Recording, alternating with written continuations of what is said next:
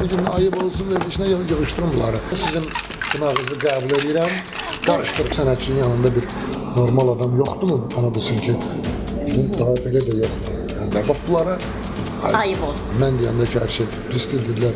Nə olub? Yəni bütün meyxanaçılar məndən düşman oldular. Nə məclis olub ki, mən getmişəm 100 min, 200 min qazanmışam. Elə məclis olub bir nəfər qalxıb mənə ev hədiyyə eləyib meyxana ilə. Meyxanaçı çıxır stollarda olmur. Bir an belə üzlük göstərirlər, qaça-qaça gedir ora.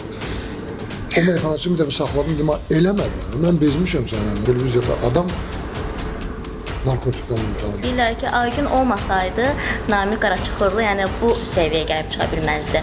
Mən Toyota oxumağa başladım, mənim iki, iki maşınım var idi, iki evim var idi, hər şey eləmişdim. İllər keçdi, e, hardasa bu peşmançılığı istədim və mən yoxam ki, mənə elə söz deməyin. Niyə bu qarın məsləhətinə qulaq asım sizcə?